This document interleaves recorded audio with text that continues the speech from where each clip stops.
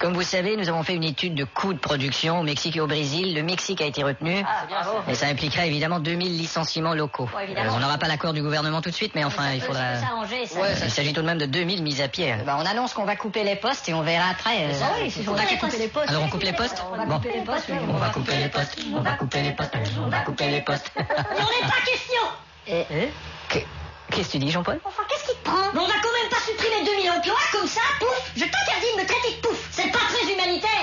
Jean-Paul, je te reconnais plus. D'habitude, t'es le premier à privilégier les profits. Et c'est toujours toi qui arrive qui dit qu'il faut sauver sur les coups. Et c'est toujours toi qui viens nous gueuler pour dire qu'il faut sauver sur les coups de production. Espèce de trou On pourrait peut-être couper la poire en deux. Oh non, tu peux la manger tout seul. Non, ouais. j'en veux pas non plus. Ah, ben merci. Mmh, mmh. Vous pouvez continuer. Du cul On a qu'à passer au vote. hein. Euh, Jean-Paul, tu es minoritaire. Je te rappelle que selon la convention, si je mets un veto, vous pouvez rien faire. Ce serait courageux de ta part de mettre le veto. Donc que tu te sois le veto, j'en ai foutre. Euh. Moi, je me couche tard. Bon, regagnez tous vos bureaux, je vous reparle demain.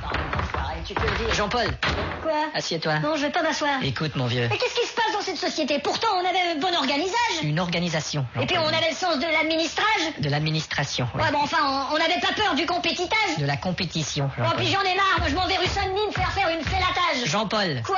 La suppression de ces emplois, c'est aussi des profits pour toi, espèce de nul. Ouais, bah. C'est bien entré dans ta petite tête, ça Ouais. Bon, Quoi qu'il manquait un peu de place, ton espèce de nul. je vais te dire quelque chose qui va te jeter par terre. Mais quoi donc? Malgré la convention, je ne vais pas retenir ton veto. Je t'avais dit. Mais. Et je vais te dire une autre chose qui va te faire chier. Non, s'il te plaît, c'est mon nouveau costume. J'ai pas l'intention de te laisser sortir d'ici pour aller chialer sur notre compte à qui que ce soit. Qu'est-ce que tu veux dire? Ce que je veux dire, Pourquoi me pousses-tu vers cette fenêtre de la salle de conférence située au 25e étage? Tu vas revoir chaque étape de ta vie du début jusqu'à maintenant. Hein? Au revoir. Joli poupon que j'étais. Voilà.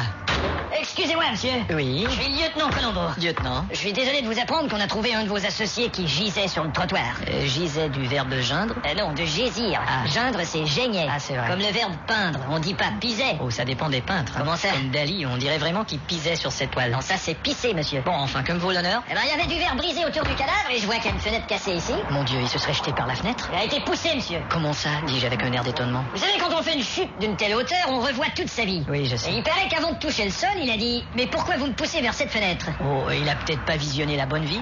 Vous croyez qu'un type peut se tromper de vie? Mais pourquoi pas? Ah bon? C'est Jérôme s'est bien trompé de carrière. Si vous voulez me suivre